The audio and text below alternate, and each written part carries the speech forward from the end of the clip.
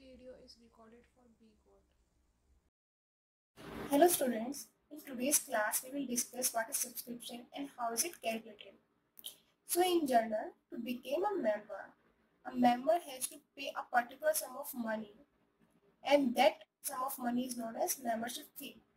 But in accounting terms for non-profit organization or you can say NPO, it is known as subscriptions. Okay.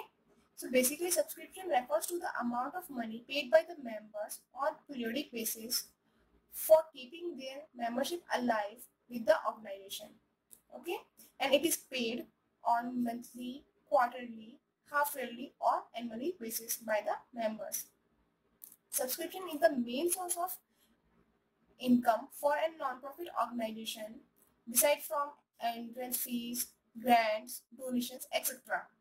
And it is shown in the debit side of the receipt and payment account with the total amount received during the year.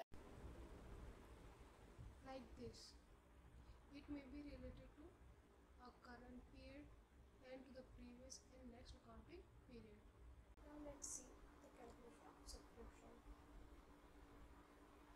First, subscription received during the year. This is the subscription shown in the debit side of receipt and payment account. Means this is the total subscription we received during the year. So we have to make some adjustment calculate the subscription to be shown in income and expenditure account. So first, while calculating subscription shown in income and expenditure account, we will add subscription received in advance during previous year for current year. Means this is the subscription received in advance in previous year and but it belongs to current year. So we will add the subscription under this subscription received during the year. Secondly, we will add subscription outstanding at the end of the year. Means the subscription is due but not received yet. So technically this subscription belongs to current year but we didn't receive it yet. So we will add it subscription received during the year. Third, we will subtract subscription received in advance for the next year. Means we received an subscription which is belong to next accounting year. So we will deduct that subscription from the subscription received during the year. Fourth, subscription outstanding for the previous year means this is the subscription which is due for the previous year. It doesn't belong to the current accounting period. So we will also subtract that subscription from the total subscription we received during the year.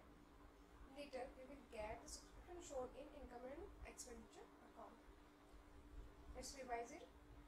Subscription received during the year means the total subscription we received during the year. We will add the subscription received in advance during previous year for current year. And subscription outstanding at the end of the year. And we will subtract subscription received in advance for the next year and subscription outstanding for the previous year. Okay? So this is the basic calculation of subscription. Now let's exercise some questions So here's the first question. What amount will be credited to the income and expenditure account for the year ending 31st March 2019 on the basis of following information?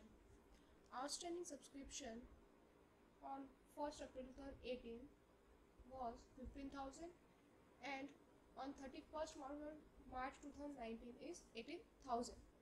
Subscription received during the year 2018-19 were 1,80,000. So, the total amount we received during the year were 1 lakh 80,000 and we will add the outstanding subscription for 31st March 2019 that is 18,000 because this subscription belongs to current year. And we will deduct opening outstanding which means that subscription belongs to previous year. That is 15000 so the subscription to be shown or credited in the income and expenditure account for the year ending will be 1,83,000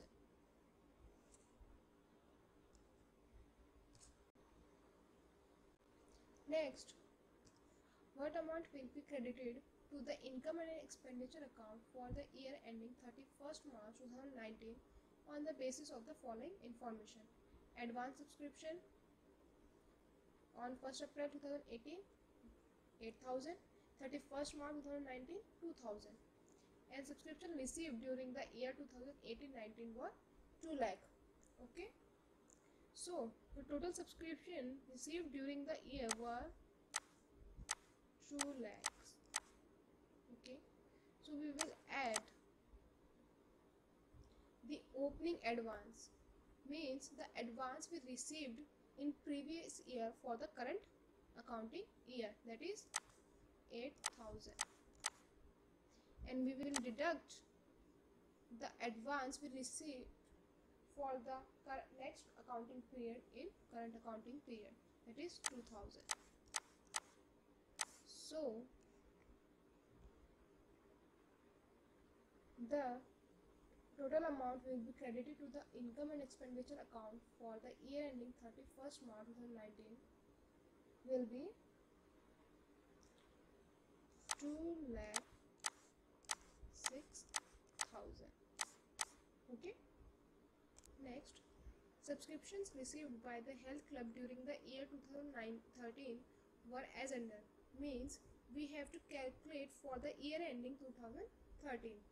So 2012 3000 2013 96000 2014 2000 total 1 lakh 1000 and subscription outstanding as on 31st December 2012 5000 subscription outstanding as on 31st December 2013 12000 subscription received in advance in 2012 for 2013 that is 5000 so here the total subscription received during the year were 1 lakh 1000 okay? We will add the subscription received in advance in 2012 for 2013 means we received the subscription for current period in previous period. That is 5000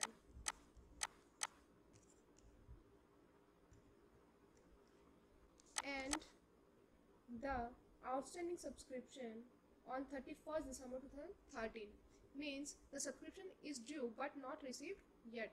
That is 12,000